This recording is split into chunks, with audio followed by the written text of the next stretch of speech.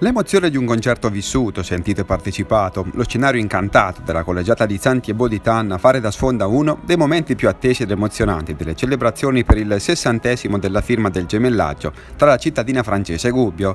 Una giornata storica, un po' per merito anche dei cantores Beati Ubaldi e l'orchestra diretta dal maestro Renzo Menichetti, che ha incantato con le note del concerto dal titolo Il desiderio del perdono, apprezzato ed applaudito da una platea che è esplosa al termine delle esecuzioni in un lungo applauso.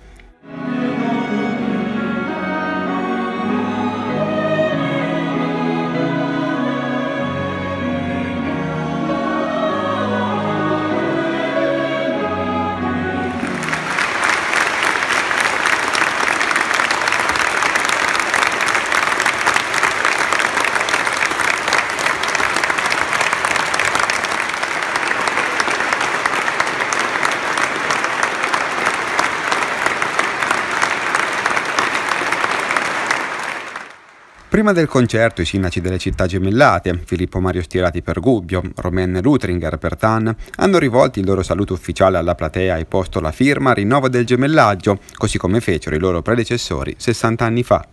Questo straordinario incontro è il più antico gemellaggio d'Europa, che ci unisce nel nome di Sant'Ubaldo. Ascoltare il canto lume della fede nella cattedrale di Tanna è stato per me un momento indimenticabile e una emozione straordinaria.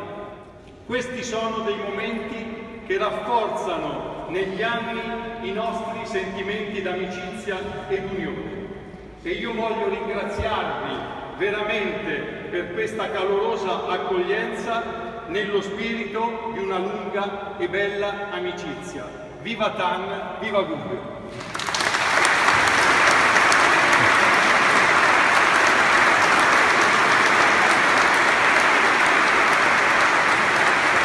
Il concerto dei Cantores è stato il preludio alla giornata di festa perché sabato 30 giugno, davanti alla collegiata, con la cremation de Trois Sapin, verrà ricordato il miracolo dei tre pini accesi così come apparvero agli occhi del fedele servo di Sant'Ubaldo e del conte di Engelburg.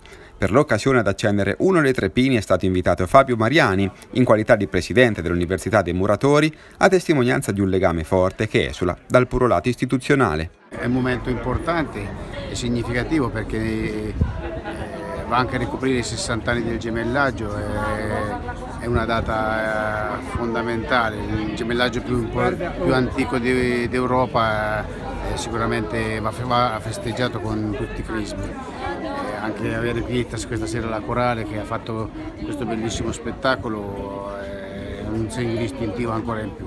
Io personalmente sono orgoglioso di rappresentare l'Università di Muratori in questa giornata che è un riconoscimento per, anche per l'attaccamento, per, per, come sono stati anche le, custodite le tradizioni il gemellaggio, diciamo, l'amicizia con il popolo di Tani in questi anni.